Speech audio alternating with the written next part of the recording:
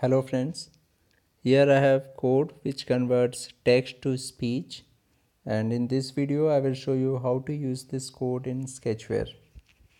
So this code contains this initial part which is to be put in onCreate method and this is the code which is used for initializing the text to speech engine. So we have to copy this complete code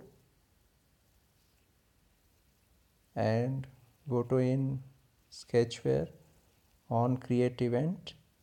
And here we have to add add source directly block in which we can directly put java code and we have to paste it here.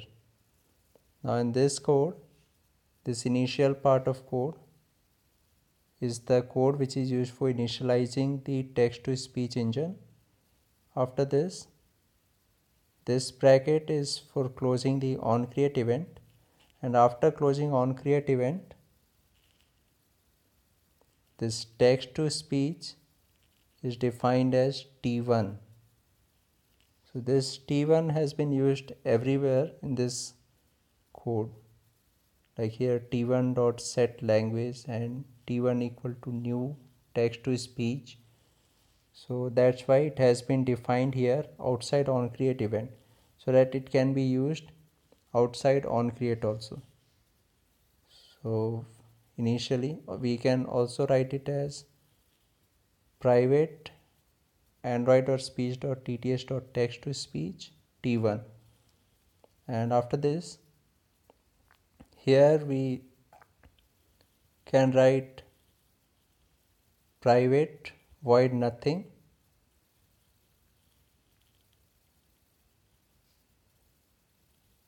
Or we can simply put this opening curly bracket.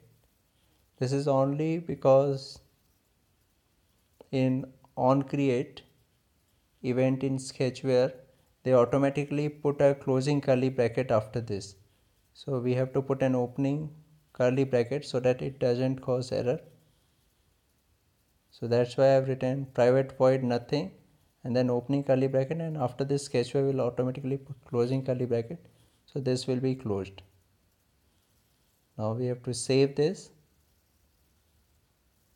And now in the view area we have to add one edit text field and a button. When the button is clicked it will speak the contents of this edit text field so in order to make it speak we have to go to on button click. And here we have to create a new string variable. Let it be text 3 this is a string variable.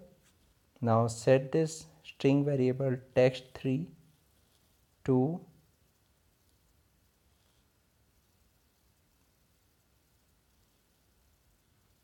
edit text 1 get text after this use an add source directly block and in this block we have to put this simple code which is for the TTS to speak. So using this code we can make the text to speech to speak. Now here this text is the string which will be spoken. Now since our string is text 3 we have to convert it to text 3 now save this. And after this use this block on activity pause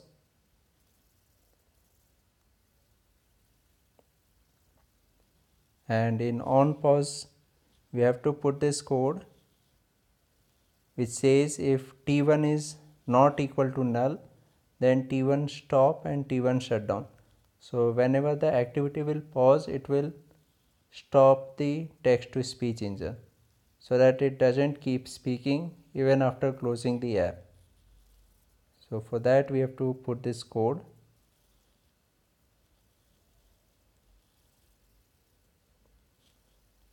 now one important thing to remember is that this code which is for initialization it takes time for initializing especially uh, usually 2 3 seconds.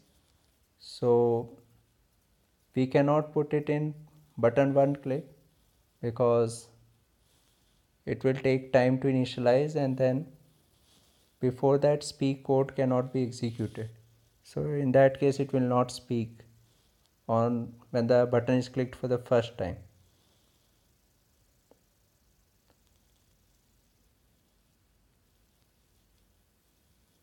Now let's write something.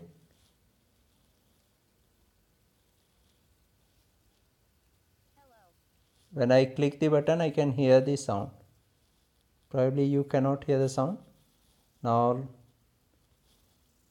since this code is for initialize we can also create a more block and put the code there. Like here we can create a new more block and write initialize or just write initial.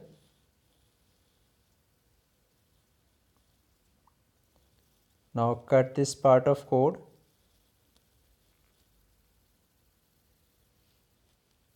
Which is for initializing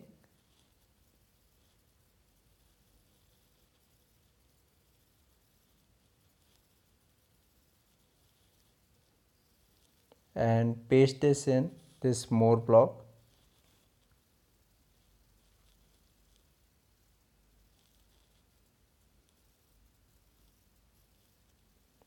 And after this we can use the more block here in on activity create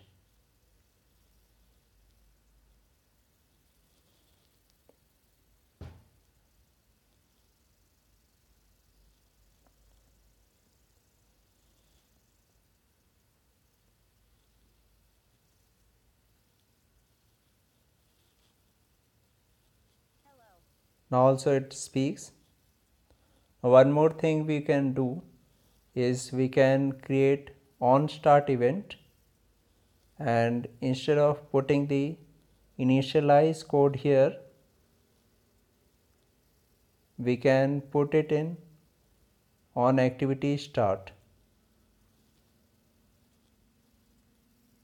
In that case it will initialize every time we minimize the app and then go back to the app. So that may be a better option in some cases.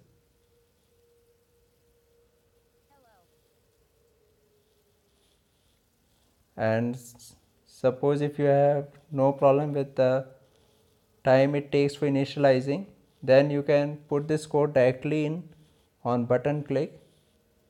In that case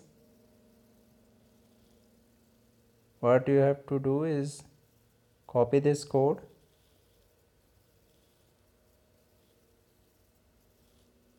Then delete this initialize block.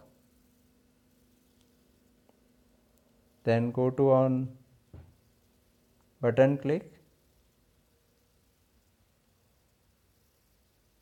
Remove this on start activity also. And then there is nothing in on create only the def only t1 has been defined as text to speech now in on button click paste the code in the more block. Then cut this part which is for speak and put it inside the code. Or inside public void on initialize if status is not equal to text to speech dot error then t1 dot set language Locale dot uk so after initialization it will set its language and it will speak. So we can put this code inside this then save this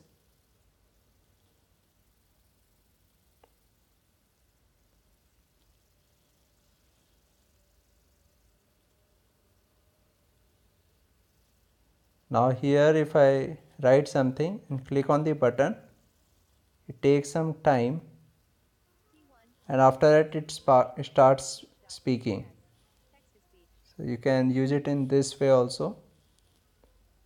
Or if you are using some intent and on activity result for that intent then you can put the code for initialize in on activity result also so i hope this was useful for you. Thank you very much for watching this video